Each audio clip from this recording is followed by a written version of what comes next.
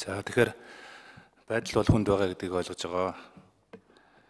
Одоо эдийн засгийн өсөлт нь олон улсын валютын сан, дэлхийн сангийн төсөөлж байгаа төсөөллөөр нэг 2.7, за манай сангийн яамны оруулж ирж байгаа нь 3%. За Монгол банкны инфляцийн төсөөлөл нь нэг 8%. Тэгэхээр ажилгууд л 10.3% гээд та сая хэлсэн 10.3 биш л юм байл л дээ. Статистикээр бол одоо үндсэндээ бол сүүлийн баг үндсэндээ 7 8 жилд байхгүй хэмжээний том ажилгүйдлийн хэм хэмжээнд Монгол улс орчод байж байгаа байхгүй. Одоо баг яг тоогоор ярих юм бол 150 мянган хүн ажилгүй орлогогүй болчиход байна гэсэн үг шүү дээ. Сая статистикийн ерөнхий газрын мэдээллээр 8 сарын мэдээллээр энэ өрхийн орлого ерөөс хасах болцсон байна. Тэнд монголчуудын өрхийн орлого чинь 2013 оноос энэ өрхийн орлогын мэдээллүүд нь дандаа хасах болоод яваад байна. 2013, 14, 15, 16 Тэгэхээр бусад улс орнуудын энэ мөнгөнийхөө бодлогыг бодлого бол энэ төсвийн бодлогоо дэмжсэн, бодит эдийн засгаа дэмжсэн ийм стандарт бус нэг жаахан ийм хөтөлбөрүүд хэрэгжүүлж эхэлж байна шүү дээ. Тэгэхээр 2017 18 оны энэ мөнгөний бодлого бол арай нэг жаахан бодит байдал дээр үнэлт дүгнэлт хийсэн. Энэ хүнд нөхцлөөс яаж энэ аж ахуйн нэгжүүдэд яаж аврах вэ? Ажилгүйдлуудаа одоо яаж багасгах юм? Ажлын байраа яаж хадгалж үлдэх юм гэдэг нэг ийм яг онлсон ийм хөтөлбөрүүд л одоо хэрэгжүүлэх юм бодит нөхцөл байдал үүссэн байна гэж би ойлгоод байгаа хгүй. Одоо Монгол улсын 100 30 40 мянган аж ахуйн нэгжийн чинь бараг үндсэндээ 50% буюу 60 70 мянган аж ахуйн нэгж нь хаалга барьсан байгаа шүү дээ. Арилжааны банкуд зээл өгөхөө болцсон. Арилжааны банкуудын нийт актив ч одоо 23 их найд төгрөг гэвэл одоо нийт засгийн газрын нэг бонд бодлоод авсан мөнгө чинь 5 их найд төгрөг байгаа шүү дээ. Бараг үндсэндээ арилжааны банкуудын нийт активын дөрвөн төгрөгийнхөө нэгийг нөгөө өндөр хүүтэй засгийн газрын бондыг худалдаад авцсан. Ингээд сууж байгаа шүү дээ. Яг нөгөө нэг өрийн гинжин хэлхэ гэж нөгөө чөтгөрийн тойрог гэдэг шиг нэг юм чөтгөрийн тойрогт орцсон байж байгаа байхгүй юу? Тэгэхээр би 2017 2018 оны мөнгөний бодлого бол жаахан уян хотон бодлого жаахан хэрэгжүүлээч баяр цайхан сайд баяр цайхан дарга. Тэгэхгүй бол яг л ингээ хатуу бодлогоор тулгаад байхаар одоо энэ аж ахуйн нэгжүүч одоо энээс илүү бүсэж хангалж чадахгүй шүү дээ. Энээс илүү бүсэж хангалж чадахгүй. Тэгээ 800 мянган өргөчин бүгдээр орлого нь болчиход байж шүү дээ.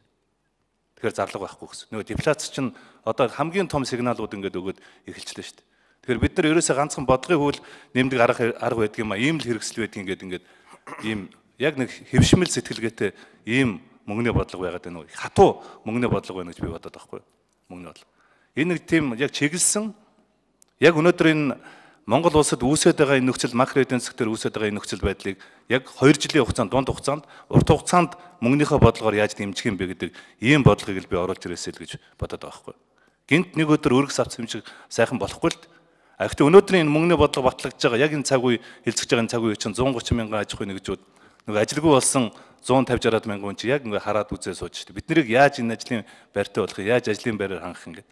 А гэтэл нөгөө талдаа манай энэ төсөөлж байгаа 3% бол бас ер нь эрсдэлтэй 3% гэж би ойлгоод байна шүү дээ. Энэ 3%ыг бид нар хаанаас бий болгож байгаа нэхэр нэг оюутлогын төсөл, 5 толгойн төслийн хөдлөх, 5 толгойн төмөр зам, 5 толгойн станц гэдэг тоотой хэдхэн 4 5хан том хөтөлбөрүүд нэрлэлсэн байж байгаа. Гэтэл энэ хөтөлбөр нь хэрэгжихгүй хэрэгжихгүй? Манай ч улс төрийн маш том эрсдэл байгаад байдаг шүү дээ. Маш том эрсдэл байгаад байдаг. Энэ нөхцлүүдийг ер нь яаж тооцсон юм бэ? Ийм эрсдэл үүсвэл энэ мөнгөний бодлого, төсвийн бодлого чи хоорондоо яаж уялдаатай явах юм бэ гэдэг нэг ийм зүйл дээр л би тодорхой хариулт авъя гэж боддог. За баярцаахан. За 81-р микрофон нэр хэм блэ? За баяр даа. 81-р микрофон. За гишүүний асуултанд хариулъя. За ер нь бол а гишүүний хэлж байгаа эдийн засгийн төлөв байдал бол нэлээд муудчихсан олон улсын байгууллагууд эдийн засгийн өсөлтийг э, таамаглалыг бууруулж байгаа нь бол үнэн. За ажилгүйдэл бол 10% та сүүлийн 10 оноос хойш хамгийн өндөр түвшиндээ хүрчихсэн ийм төлөв байдалтай манай эдийн засаг явж байна. Тэгэхээр яг өнөөдрийн байдлаар уг нь бодлогын зөв сонголт нь юу байсан бэ гэхээр зэрэг тодорхой хэмжээнд төсөв нь өнөөдөр тэлээд мөнгөний бодлогын зөвлөрөөд яг гишүүний тэр хилээд байгаа эдийн засгийн бодлогыг сул зөвлөлөд ингээд явж явах. Яг л энэ бол эдийн засгийн яг онлынхоо хувьд ч тэр бусад улс орнуудын хэрэгжүүлдэг ийм одоо имчилгээний жорно. А бид нар ягаад өнөөдөр ийм эсрэг байд одоо зүйл хийгээ сууж байгаа вэ гэхээр зэрэг сүүлийн хэдэн жил явж ирсэн төсвийн сахилга батгүй байдал. Одоо жишээлх юм бол сүүлийн 4 жил зөвхөн хөгжлийн банк албан ёсны төс засгийн газрын төсөв хоёрыг нийлүүлэхээр зэрэг сүүлийн 4 жил 10 орчим хувийн төсвийн алдагдaltaа ингээд явсан. Энэ нь болохоор зэрэг э, бараг 8 их 80 төгрөгийн алдагдлын тухай бид нэр ярьж байгаа. Тэгээ энэ байдал нь өөрөө төсвүүдээр ингээд төсвийн дунд урт хугацааны үрийн тогтвортой байдлыг алдагдуулах ийм нөхцөл байдал руу төлөгдсөн. А энэ утгаараа өнөөдөр э, төсөв талаасаа и- цаашаа сулрах, татварыг бууруулах, эдийн засгийг тэлэх энэ боломж нь бас энэ байдлаар ингээ хязгаарлагдаад. Мөнгөний удах талаасаа э, сүүлийн үед одоо гадаад төлөвтийн нөөцийн хүрэлцээтэй биш байдал нь мөнгөний бодлого яг түрүүний хэлсний дагуу ингээд доошо буугаад явах энэ боломжийг нь бас гадаад төлөвтийн нөөц нь ингээд хязгаарлалчаад ийм нөхцөл одоо бодлогын ийм хавханд гэх юм уу ийм зүйл орчоод өнөөдөр бид нэр ингээд суугаад байна л та. Тэгээд ерөнхийдөө бол яг энэ өгдсөн хоёр нөхцөлийн үндсэн дээр бодлогын ер нь байж болох муу хувилбарыг сонгоцсон сууж байгаа. За яг энэтэй уялдаад эдийн засгтэр юу бий болцсон бэ гэхээр зэрэг макро тогтвортой байдал, макро тодорхой бос байдал маш ихээр нэмэгдсэн. Өөрөөр хэлбэл ханш а, валютын ханш жилийн дараа хэд байх вэ? Инфляц хэд байх вэ? Хүмүүсийн орлого хэдээр өсөх вэ? Цалин хэд байх вэ гэхээр зэрэг нөө бизнесийн орчин маань өөрөө цаашаа бизнесээ бизнесээ төлөвлөх юм боломж нь маш их юм төсөөлөгдөхгүй юм орчин руу орчхоор зэрэг бизнес цаашаа бас юм явах болчихдог.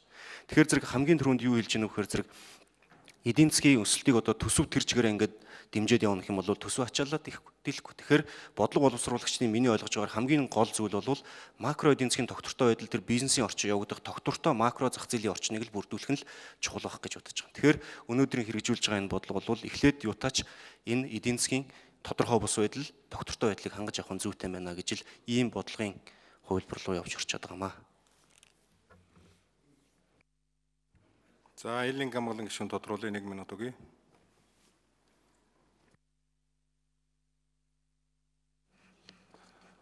Тэгээ бодлогын хамгийн муу хувилбараа сонгоод байна гэдэг тэгж яриад байгаа. Энээс ч бас шийдэл байхгүй маа нэг арай жоохон бүтээлч тийм шийдэл байхгүй бол гэж асуугаад байна л да.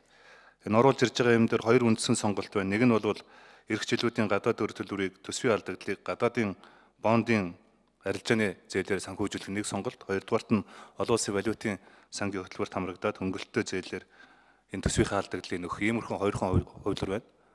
Аа бид нар бол хоёр дахь хувилбарын илүү одоо зайлшгүй энээс өөр сонголт байхгүй гэдэг нэг юм дүгнэлт хийцэн байх юм. Энийг илүү тайлбарлаж өгөөч. Яагаад гэж.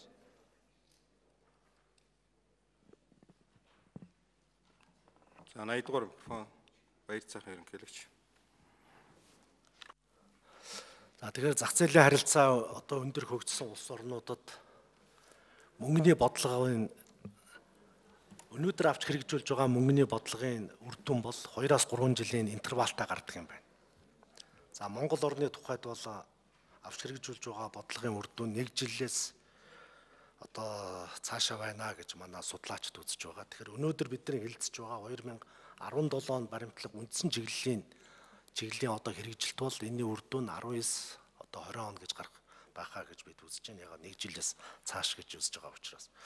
Өнөөдрийн эдийн засгийн одоо бий болоод байгаа энэ мөнгөний одоо банкны салбарт бий болоод байгаа энэ нөхцөл байдал бол өмнөх одоо Монгол банк өмнөх одоо засгийн газрын явуулж байсан бодлогын үр дүн ийм л байдлаар илэрч байна гэж хэл- хэлж байгаа юм. Тэгэхээр энэ одоо хүндрэлийг даван туулахын тулд Монгол улсын засгийн газар, Монгол банк,